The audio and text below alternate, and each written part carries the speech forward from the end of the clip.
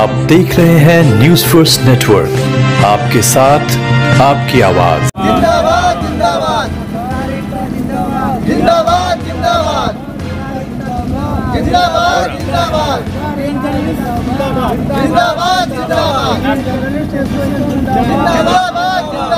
इन्हें आज जिलाधिकारी महोदय को संबोधित एक ज्ञापन मान्य उप जिलाधिकारी महोदय को सौंपा है, जिसमें मांग किया गया है कि पी एस महोदय सिद्धार्थ नगर ने जो एक पत्रकार को अपमानित किया और पत्रकारों पर अभद्र भाषा का प्रयोग किया और पत्रकारों को जो है पूरे पत्रकार समूह को जो है अपमानित किया, वो निंदनीय कार्य है। और हम पत्रकार इंडियन जर्नलिस्ट एसोसिएशन और सभी पत्रकार के लोग उनके ऐसे कार्यों की निंदा करते हैं। और यदि माननीय बी एस महोदय ने अपनी बात को वापस नहीं लिया और माफ़ी नहीं मांगा तो इंडियन जर्नलिस्ट एसोसिएशन जो है शिक्षा विभाग की खबरों का बहिष्कार करेगा और इसके साथ ही स्थानीय विधायक और सांसद महोदय के भी खबरों का बहिष्कार किया जाएगा और कवरेज नहीं किया जाएगा। पत्रकार एक देश का चौथा स्तंभ है और देश और समाज के हित के लिए कार्य करता है।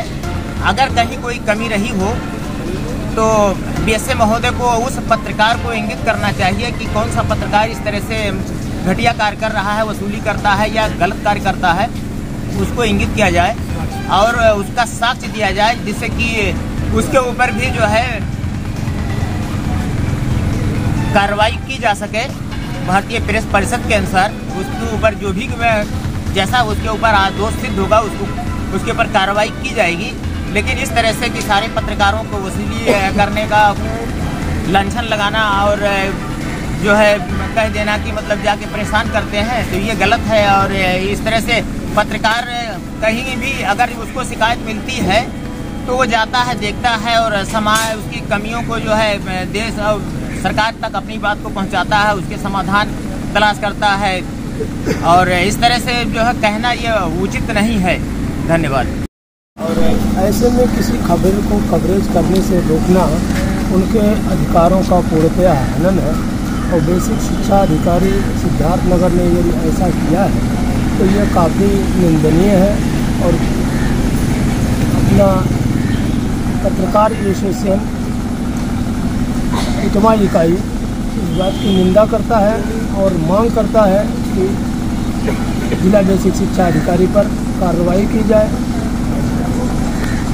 इटवा ने आज उप जिलाधिकारी को संबोधित ज्ञापन जिलाधिकारी को संबोधित ज्ञापन, उप जिलाधिकारी इटवा को सौंपा है, जिसमें पत्रकार के ऊपर लाछन लगाना, बीएसए का, ये अशोभनीय है और ऐसे में पूरा पत्रकार समाज आज आहत और इस तरह से बेसिक शिक्षा अधिकारी के ऊपर अगर जिला प्रशासन और संबंधित विभाग कार्रवाई नहीं करता है तो तहसील इकाई इटवा के इंडियन जर्नलिस्ट एसोसिएशन के जो पत्रकार हैं, वह शिक्षा विभाग की सभी खबरों का और स्थानीय विधायक और सांसद की खबरों का बहिष्कार करेंगे। क्योंकि विधायक और सांसद महोदय, अगर कार्रवाई नहीं करते हैं प्रशासन, बीएससी के ऊपर कार्रवाई नहीं करता है तो पूरा पत्रकार समाज को लाछन लगाना ये अपने आप में बहुत मर्यादित है।